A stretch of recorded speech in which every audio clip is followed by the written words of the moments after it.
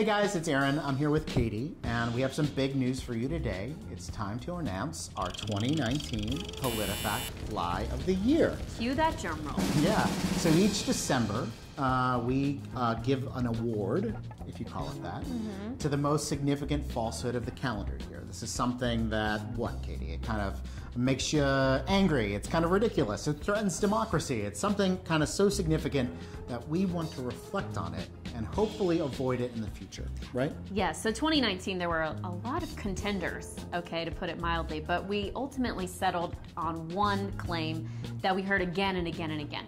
So the winner of the 2019 Lie of the Year is President Donald Trump's claim that the whistleblower got it wrong about his Ukraine call. All right, so Katie, actually, you wrote this story uh, announcing uh, the lie of the year and giving it to Donald Trump for the third time.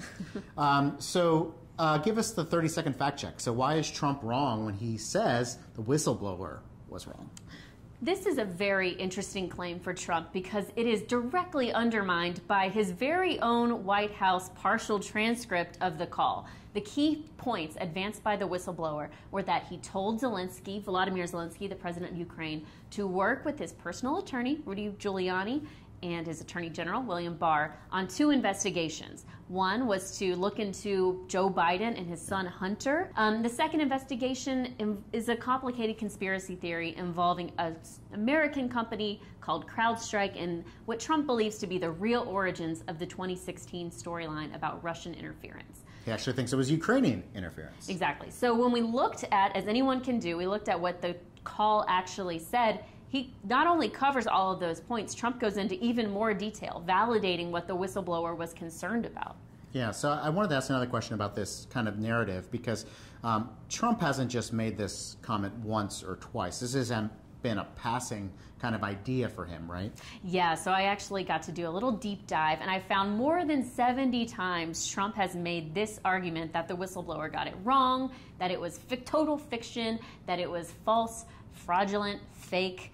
So wrong with many O's. He has really hammered this home, and it's just not true. You can easily compare the key sections in both documents, which are very short.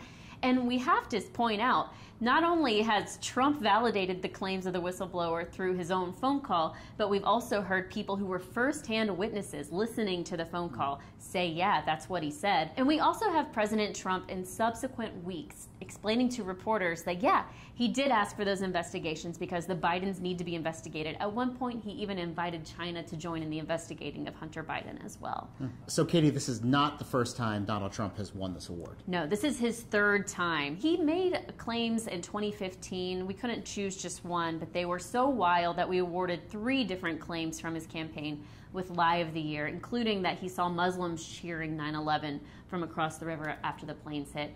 The second time he won the award, however, was in 2017, so he was he was president then for saying that the Russia investigation was just a hoax, a made up scam by Democrats. So those stories and this new one are all available on politifact.com. You can read uh, why uh, the whistleblower didn't get it wrong. You can also learn a little bit about will the whistleblower have to be asked to testify before the Senate if uh, impeachment moves forward there. It's an interesting story. I Hope you give it a, a look. And until next time, I'm Aaron and this is Katie. Take care.